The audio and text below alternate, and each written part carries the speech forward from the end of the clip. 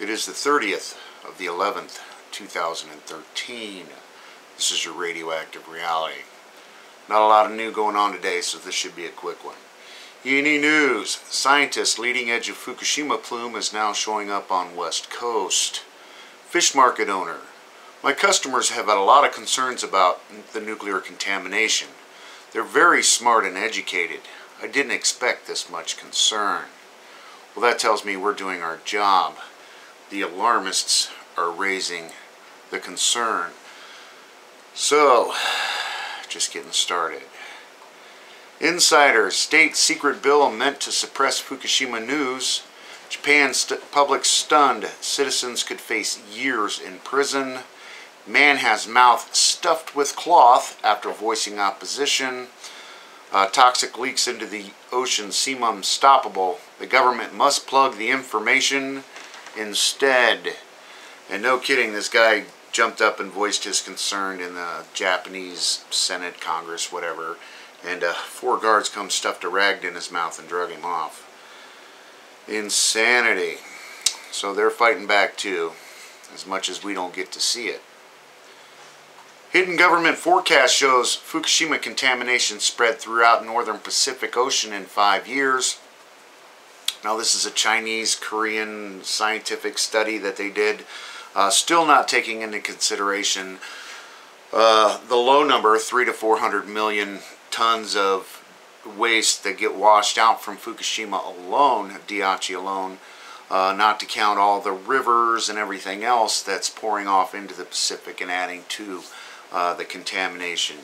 So uh, another powder puff, put some big huge padded gloves on, um, forecast shown by uh, government officials. Yay. AFP, scientist warns of new flood of radioactive particles around Fukushima. Those who escaped initial fallout could now be exposed.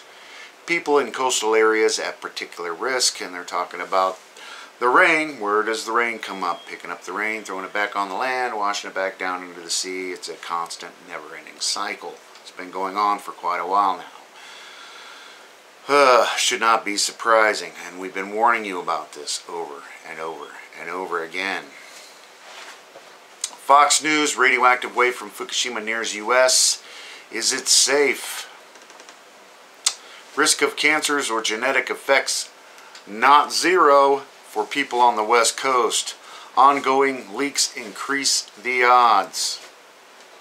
Ongoing and ongoing. We're just getting started.